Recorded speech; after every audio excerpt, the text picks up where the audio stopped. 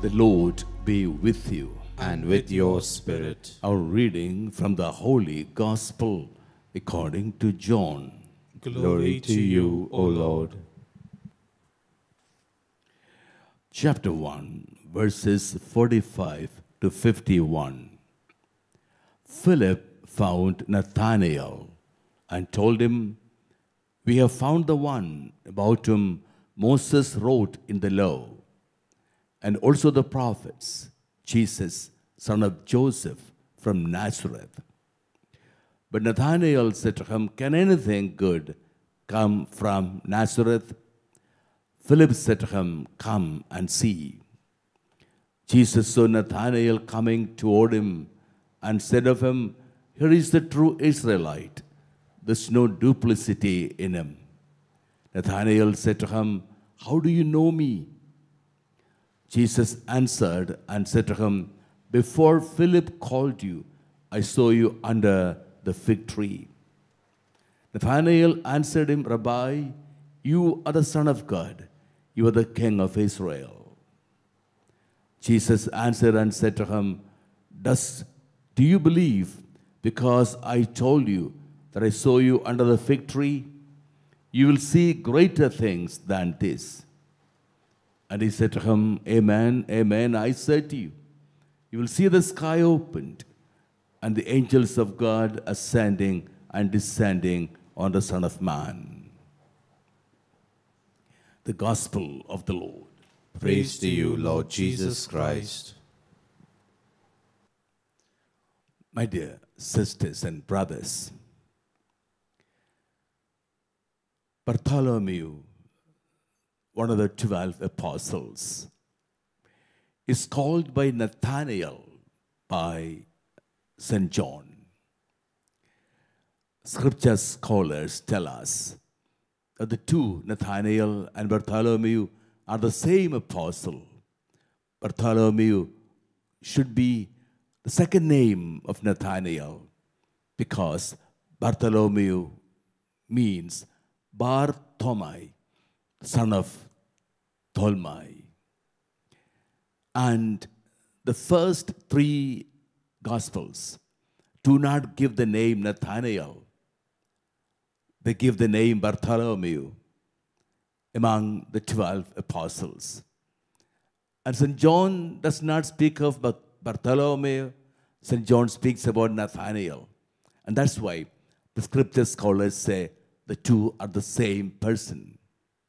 Nathanael was a person who started his journey of faith with a prejudice. Philip found Nathanael and told him, We have seen the Messiah, the one about whom Moses and all the prophets have spoken. He's Jesus, son of Joseph from Nazareth. Then comes the prejudice of Nathanael. Can anything good come out of Nazareth? Then the invitation of Philip, come and see. When Nathanael came to Jesus, Jesus said of him, Here is a true Israelite in whom there's no duplicity. It is very interesting the command of the apostle, the command of St. John. Philip found Nathanael under the fig tree. And that is very symbolic. Fig tree is the symbol of the messianic age. And Nathanael was seen under the fig tree. And that means Nathanael was a person who was longing for the messianic age, the age of the Savior. And when Nathanael came to Jesus, and Jesus accepted him as one of the twelve. Nathanael said, You are truly the Son of God, the King of Israel. Nathanael accepts Jesus as the Lord and Savior, and his testimony becomes a testimony powerful.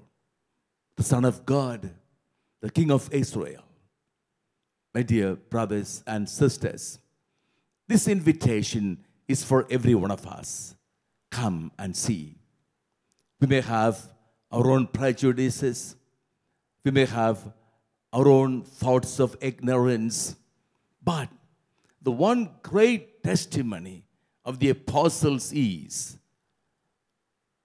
Jesus is the Son of God, the King of Israel. It is in Jesus that we find our salvation. And that testimony is the greatest of all the testimonies. In Jesus, we find our salvation.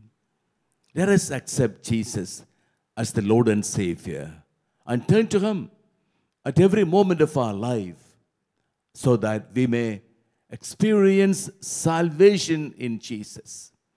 In the moments of our troubles, in the moments of our hardships, in the moments of our sinfulness, in the moments of our sickness, Jesus is our hope.